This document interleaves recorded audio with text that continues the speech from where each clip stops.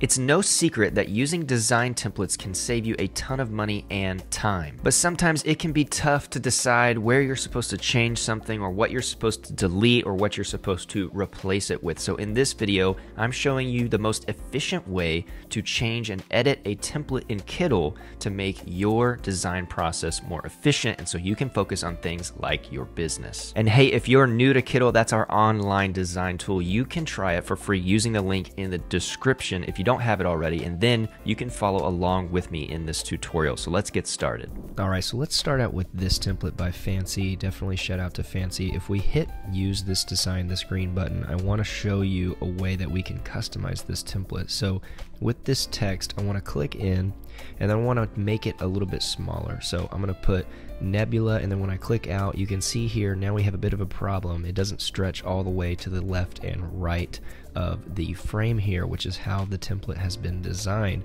But there's an, actually an easy way to fix this. So if I select this then we want to be on the lookout for this variable setting here. So then if I stretch the variable setting and I just make this slider go up like this boom just like that now we have actually customized the template correctly and we don't have all that space on the left and right and now what I can do is just move my arrow keys around if I want to or I could edit the transformation to make sure that the alignment is correct. So moving on here is a template by the man himself Tobias Saul.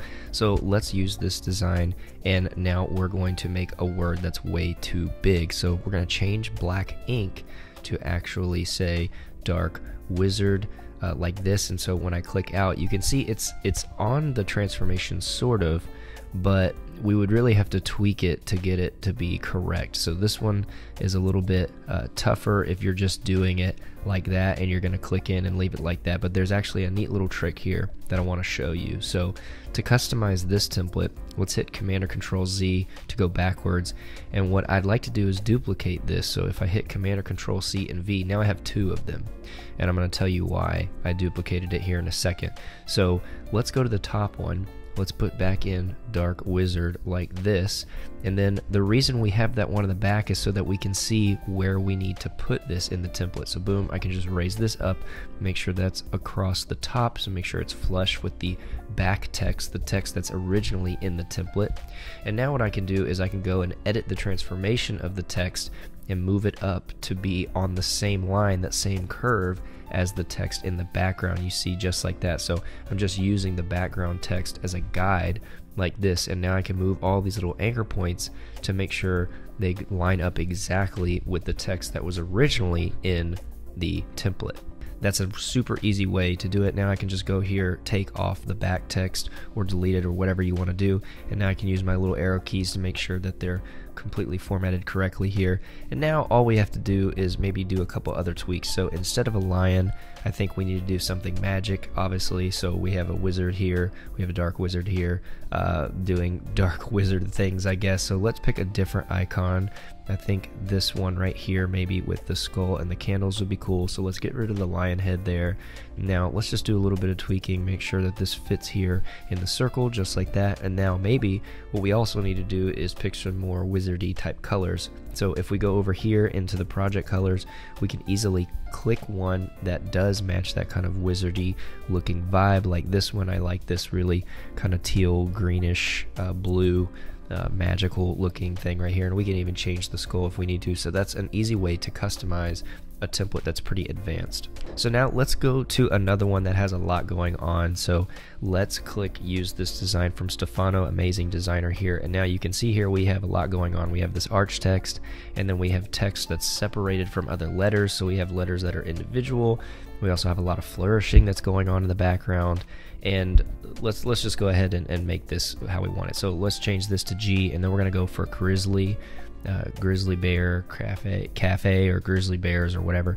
So we'll change the C here to B, and then we'll change the Afe to Airs for bears here. Now, so you can see this is just this has just become a mess basically, uh, and it's not going to work with this even if we stretch it out with the letter spacing.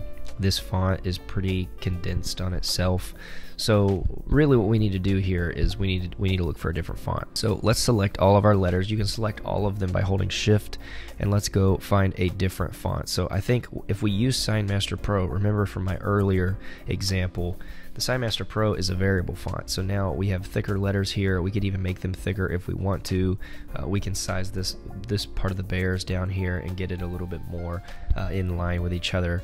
Um, and we need to size down the B as well. So just keep in mind when we're, we're editing customizable templates like this, we really do need to do some tweaking to make sure that it's right. So I'm going to zoom through just how I would I would tweak this around, and so it, it can be a super fast process, but we want to make sure that we're uh, we're not destroying the template, so to speak. We're just moving things around to make them a little bit more how we want it. These are just tactics, like I would move the bear over here like this, and now what we can do is grab some of these flourishes. If things are grouped together, you can double click in, and then what I'll do is I'll move these flourishes. I'll make them a little bit bigger, and all I would do is basically go in, double click some areas, and make sure that I can make the flourishes a little bit bigger like this. And so you can see it's starting to come together with just a couple of tweaks, with just a couple of uh, moving things around, selecting a different font. And so now what we can do is actually go and we'll go into bold flourishes. Sometimes it does help if you know kind of the categories of our flourishings and things like that. So if we go in here and we use uh, some of these other bold flourishings, which I'll kind of just zoom through here, uh, you can create more parts of the template if you need to expand it like I've done here. So we've expanded it, it's a little bit bigger, but that's okay because all we need to do is just make a couple of tweaks like this, add a couple flourishes, and now it's ready to go just like that.